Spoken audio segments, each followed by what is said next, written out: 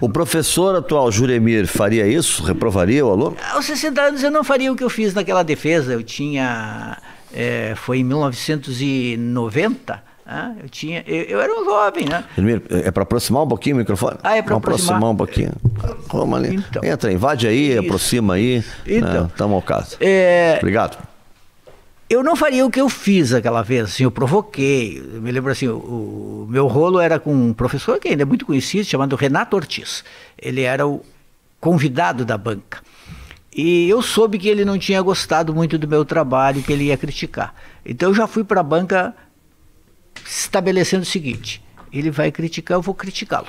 É, então ele falou ah, alguma coisa e eu já cortei e disse o seguinte: olha, queria dizer o seguinte, o senhor não tem é, cultura para estar da minha banca, para me julgar. É, ah, foi assim o negócio? Sim, bom, aí o cara disse, pô, tá bom, mas eu tenho cultura e, e, e, poder para te reprovar. Eu tenho a caneta para te aprovar ou reprovar. e me reprovou. É, mas, bom, ali eu pensei que a minha carreira acadêmica estaria interrompida. Foi mais ou menos a frase do Caetano naquele festival que ele diz para a plateia, né? Como é que é? O, o, é pro júri. O júri é muito simpático, mas incompetente. É, foi mais ou menos isso. foi isso, né? Foi isso. Agora, coisa de guri, que não se faz, que não que se Que idade isso, tu tinha?